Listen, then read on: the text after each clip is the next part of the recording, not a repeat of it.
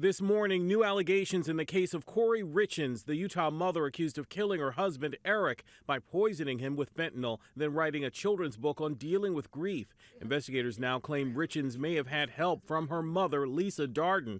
Darden spoke about the case late last year and claimed Eric may have accidentally overdosed on his own. I believe Eric may have gotten pain pills and didn't realize that they had fentanyl in them. Um, if you knew Kouri, she would never ever do this, not only to Eric, but to those boys. Newly unsealed documents reveal Lisa Darden was living with a woman back in 2006 who also died suddenly from an overdose. Investigators now say, based on Lisa Darden's proximity to her partner's suspicious overdose death, it is possible she was involved in planning and orchestrating Eric's death.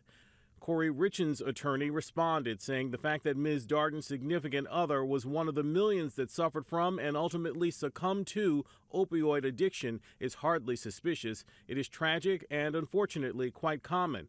But the similarities may go beyond overdoses. Investigators say Darden benefited from her partner's life insurance policy, just like Richins allegedly tried to do when investigators say she changed Eric's life insurance policy months before his death.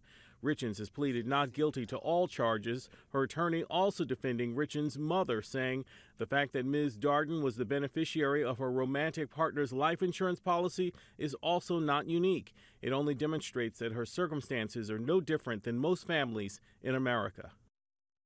Richins is due in court today in a separate case accused of assaulting her sister in law. As for Richins' mother, she has not been charged with any crime. Hi, everyone. George Stephanopoulos here. Thanks for checking out the ABC News YouTube channel. If you'd like to get more videos, show highlights, and watch live event coverage, click on the right over here to subscribe to our channel. And don't forget to download the ABC News app for breaking news alerts. Thanks for watching.